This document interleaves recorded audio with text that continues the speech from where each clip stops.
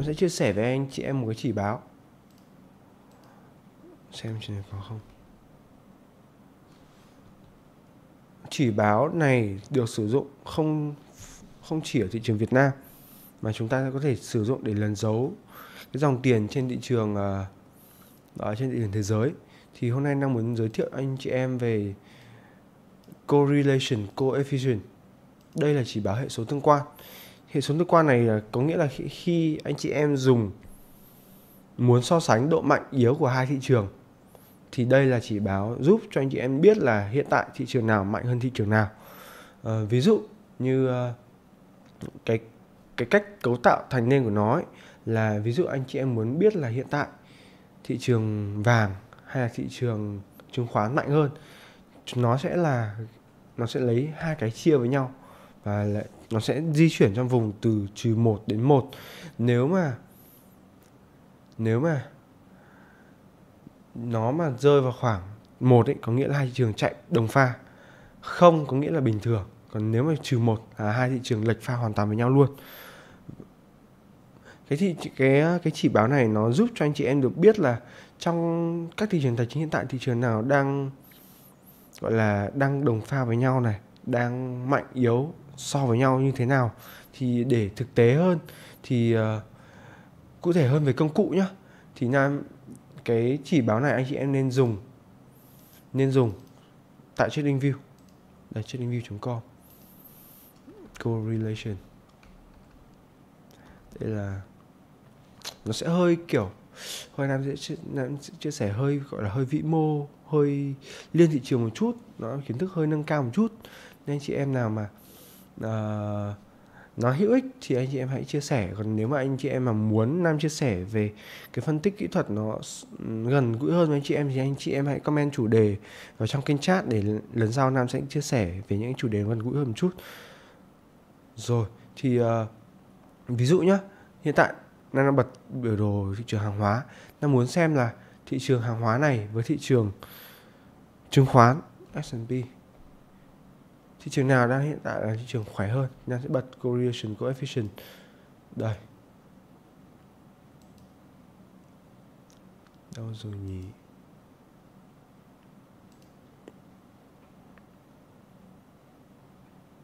Đấy có nghĩa là anh chị em mình nhìn thấy này. Khi mà nó đang so sánh với cả S&P nhá. Đây S&P nghĩa là chỉ số chứng khoán Mỹ khi mà nó trên mức không nhưng không tới mức một thì nó đang đo rằng thị trường chứng thị trường chứng khoán Mỹ và thị trường hàng hóa hiện tại đang giao dịch đồng pha nhưng không đồng nhất. Có nghĩa là nó chỉ 50% là giống nhau thôi. Uhm, thị trường chứng khoán tăng 1 thì thị trường hàng hóa tăng 0.5 đấy đấy là cách nhìn về correlation coefficient. Uh, nó nó sẽ hiệu quả khi mà anh chị em so một series luôn. Ví dụ uh, thị trường Mỹ với là DXY thì nói lại là chỉ rơi vào khoảng hơn hơn không chấm hơn không một tí thôi. Vì vậy là có lẽ là chúng ta bắt đầu sang trang đang trong một cái giai đoạn mới này khi mà chứng khoán này hàng hóa và thậm chí là tiền tệ nó bắt đầu đồng pha với nhau.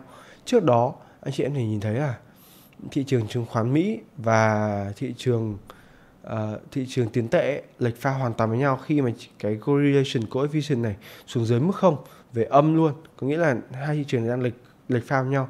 Và đa phần trong quá khứ anh chị em nhìn thấy đa phần là lệch pha với nhau. Rất ít khi mà nó cùng pha với nhau. Khi nó cùng pha với nhau thì luôn có một cái đáy hoặc một cái đỉnh gì đó xảy ra.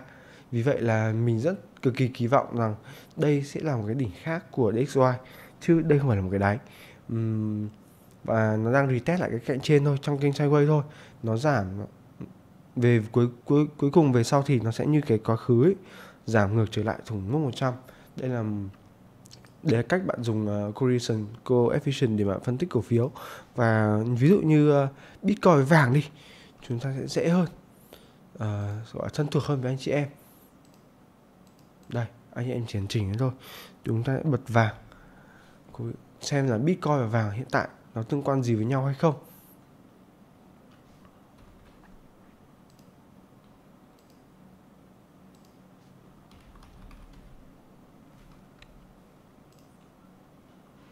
Rồi, hiện tại anh chị em để nhìn thấy này, vàng và Bitcoin thậm chí còn ngược pha với nhau cơ. Đây, uhm, mọi người uh, cái những cái chắc đây cách đây khoảng vài tuần thì anh chị em anh chị em nhìn thấy là bitcoin dao động cùng pha với vàng. Nhưng hiện tại chúng ta đang thấy sự sự chênh lệch giữa hai hai mã này rồi. Khi mà uh, vàng bitcoin bắt đầu có hệ số dưới không gọi là không relate gì với nhau nữa cả. Um, nó thể hiện rằng thị trường hiện tại những cái tài sản mà uh, gọi là tài sản hữu hình tài sản mà cầm nắm được uh, tài sản như vàng này chứng khoán hay tiền tệ đang đồng pha với nhau. Nhưng mà tài sản như bitcoin gọi là tài sản mang đến kỳ vọng ấy đang lệch pha với nhau. Thì uh, đây là cách cơ bản để anh chị em nhìn quanh vòng về thị trường thôi.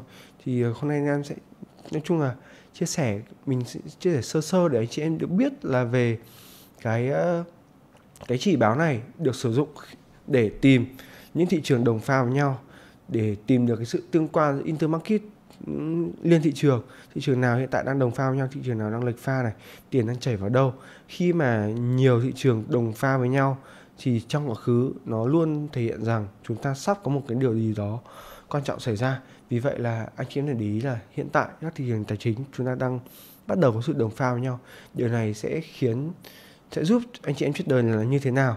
Nó giúp là anh chị em trader lường lường được là sắp chúng ta, chúng ta sắp có biến động. Anh chị em nên co cái co cái tỷ trọng giao dịch lại này.